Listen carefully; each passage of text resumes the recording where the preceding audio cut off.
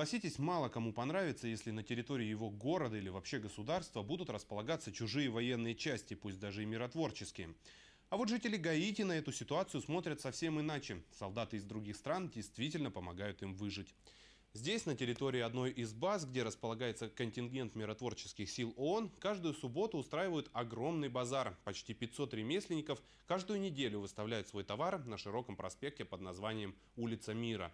Вот, например, Жермен Манес. Его товар здесь пользуется особой популярностью. Он изготавливает деревянных солдатиков в форме миротворцев. Я продаю солдатиков не только по субботам. Сейчас здесь выставлены те, которые я сделал на заказ. Скоро подойдут люди, которые заберут сразу несколько фигурок. Ну а если на чистоту, то иногда к 11 часам утра у меня все раскупают. Жермен открыл свое дело еще в 2004 году, когда началась миссия по стабилизации положения на Гаити. С тех пор каждый солдат считает своим долгом увезти домой как минимум одну фигурку. Сегодня я купил фигурку морского пехотинца. Вот посмотрите, на нем такие же ботинки, как и на мне. За счет этого мужчина может обеспечить не только свою семью, но и дать работу другим ремесленникам. Это мой постоянный заработок. Можно сказать, что я получил эту работу как дар от отца.